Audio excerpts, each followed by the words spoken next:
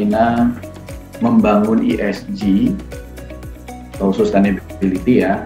Itu pertama karena ESG ini sudah menjadi global trend. Ya. Hampir di seluruh dunia membicarakan mengenai environmental, social, and governance. Yang kedua, eh, lembaga-lembaga internasional lain juga uh, sudah mendorong agar sustainability atau ESG ini diterapkan. Berikutnya juga dorongan dari para investor. Ya, investor-investor ini saat ini sudah mulai fokus untuk mengembangkan yang namanya ESG financing. Uh, selanjutnya yang juga menjadi latar belakang adalah banyak, uh, hampir seluruh peers oil and gas sudah komit untuk memiliki yang namanya net zero ini semua menjadi uh, latar belakang kenapa Pertamina harus mulai membangun dan mengedepankan ESG. Kita nggak hanya pengen jadi global energy uh, company ya, tapi juga Pertamina ingin dikenal sebagai perusahaan yang ramah terhadap lingkungan atau environmental friendly. Di sisi lain juga Pertamina ingin juga dikenal sebagai perusahaan yang socially responsible atau bertanggung jawab sosial. Dan yang terakhir, Pertamina juga ingin dikenal sebagai perusahaan yang upholding good corporate governance atau mengedepankan uh, GCG. Lalu tujuan lain adalah apa? Tentunya uh, adalah terkait dengan akses kepada finan, uh, financing atau akses kepada pendanaan. Dalam penerapan ESG di Pertamina, ini kita membagi dalam tiga tahapan besar yang kita kenal dengan 3D atau 3D. Tahapan yang pertama itu adalah tahapan diagnostik. Ya. Tahapan yang kedua adalah tahapan development dan tahapan yang terakhir adalah deployment atau implementasi. Tiga pilar utama ini yang kita bangun untuk membangun sebuah ESG uh, framework yang ada di Pertamina. Oke. Okay? Nah, secara strategi kemudian kita terjemahkan roadmap, kemudian kita juga lakukan komunikasi yang terus-menerus. Bicara tentang financing, kita sudah punya yang namanya tiga alternatif untuk pengembangan yang menjadi eh, rencananya akan menjadi pilot untuk ESG financing, yaitu Green Bond, Sustainability Linked Bond, and Transition Bond. Saya mengulas mengenai strategi, jadi strategi ini sudah uh, rampung ya by Q3 2021 ini September kemarin sudah kita selesaikan.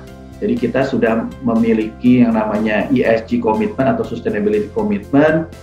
Uh, kita sudah memiliki sustainability committee di mana Bu Nike sebagai dirut adalah chairpersonnya dibantu oleh tiga direksi Bu Emma, Pak Iman dan uh, Pak Mul Kemudian juga kita sudah menerjemahkan uh, apa namanya ESG commitment itu ke dalam ESG strategi yang kita kenal dengan 10 sustainability focus.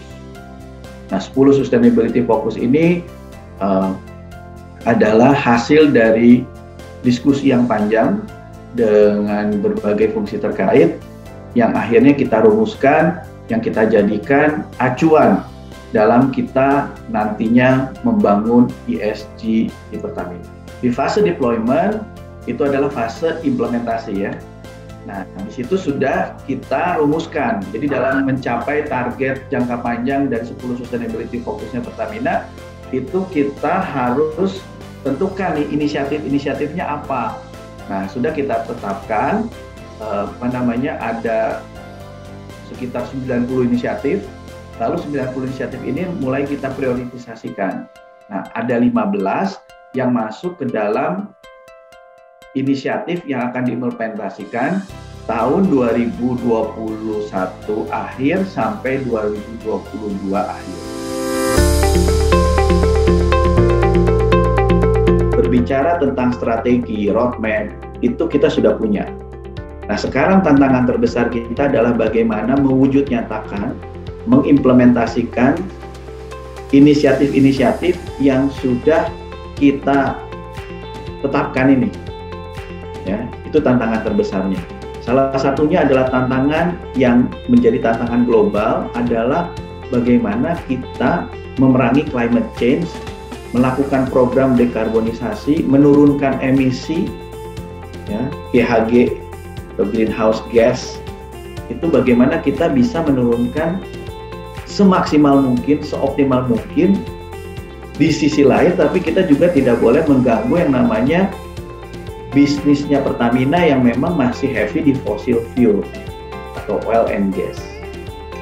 Bisa dilihat sekarang, mungkin teman-teman uh, bisa menyaksikan bahwa wujud nyatanya adalah Pertamina sudah mulai melakukan transisi dari uh, energi mixnya. Secara strategi, secara target jangka panjang Pertamina ingin memiliki energi mix itu 17% nanti by 2030 ya untuk new and renewable-nya. Kita sudah sepakati ada 15 top priority inisiatif ESG yang akan dilakukan sampai dengan akhir tahun 2022. Nah itu uh, apa aja tuh? Contohnya nih ya, satu adalah mengembangkan net zero roadmap, ya menetapkan net zero roadmap. Yang kedua dekarbonisasi, ketiga systemized biodiversity ya. Kemudian ada deliver NRE capacity. Kemudian uh, beyond proper itu juga masuk di inisiatif. Uh, proses safety management promoting human rights dan lain sebagainya bicara ESG atau sustainability ini adalah bicara mengenai generasi selanjutnya, anak cucu kita ya. Itu gambaran besarnya. Oleh karena itu, dengan ESG ini kita melakukan bisnis bukan hanya untuk keberlanjutan dari perusahaan kita, tetapi juga keberlanjutan dari bumi yang kita tinggali. Oleh karena itu penting bagi kita, ya kan, untuk bisa memiliki mindset yang memikirkan keberlanjutan atau sustainability dari bumi kita. ESG ini menjadi semakin kritikal dan krusial. ESG jangan hanya dilihat sebagai sebuah keharusan yang membatasi kita, tetapi harus dilihat sebagai sebuah kesempatan untuk kita berinovasi dan mencari peluang baru yang pada akhirnya akan memberikan keuntungan bagi perusahaan untuk kemaslahatan seluruh pekerjanya dan secara luas memastikan keberlanjutan bumi yang kita tinggali dan wariskan bagi anak cucu.